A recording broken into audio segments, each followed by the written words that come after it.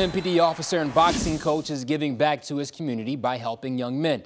The organization is focused on instilling valuable life lessons to members on the team that may be dealing with distress.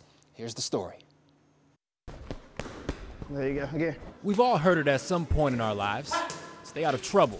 That's the message from one boxing coach to the young men on his team. Keep that jab going.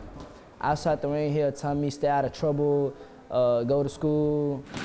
Ali Salah, a boxer from Kingsbury High School, has been boxing for two years under coach Brian Hall. Salah knew he loved to fight at a young age after constantly staying in trouble inside and outside of school. That's when Salah was introduced to something that could mimic his love for boxing in a more positive way. It motivates me more to bring more youth and build kids to make them uh, one day be successful, even if it's in boxing or in life. I, that's what I'm going for. Fight, let's go. Much of the story in the ring is just like many other athletes outside of the ring. Come on, win around, win around. There's something bigger being fought for. It's the fight for your life. You on your own. Especially in this country, you on your own. Nobody gonna be with you. You gotta work hard for yourself. Whatever you wanna do in life, you do it.